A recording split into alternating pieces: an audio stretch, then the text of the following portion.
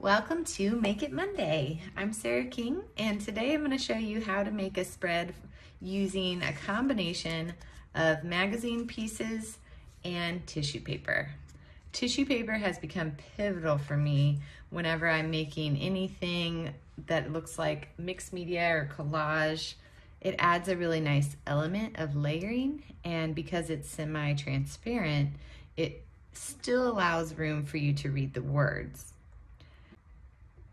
Now this page I already did a demo for and it will be used in my Vision Journaling 101 course that is coming out soon, so stay tuned for that.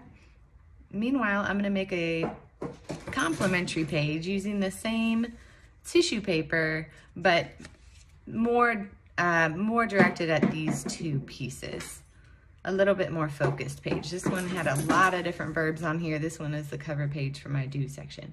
This one I wanna focus in here on ready to make an impact. To do this, you're gonna need a little bit of Mod Podge or liquid white glue. Put it in a cup, a little bit. Next, I'm gonna add a little bit of water and use a foam brush water, mix up your mixture. You're gonna have diluted Mod Podge or white, kind of like Elmer's glue would work fine for this school glue.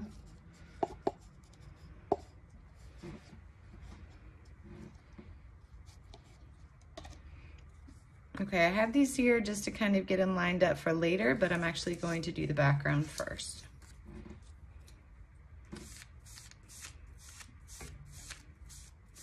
You always wanna have a little light layer of the liquid underneath. And what that allows you to do is um, kind of have a base to work with. I'm gonna start with dark on the edges and do sort of an ombre looking effect this time.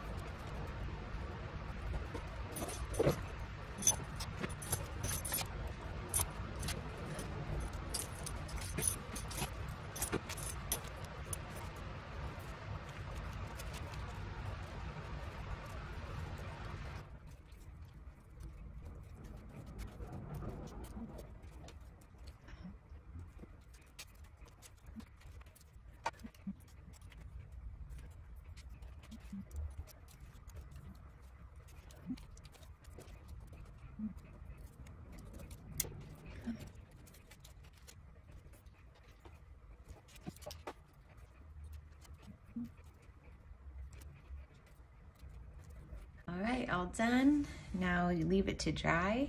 When it's dry, carefully remove this piece of parchment paper and then you can trim around the edges just like this one to make it nice and smooth. Then as a last step, you can cover it with Mod Podge um, without diluting it this time.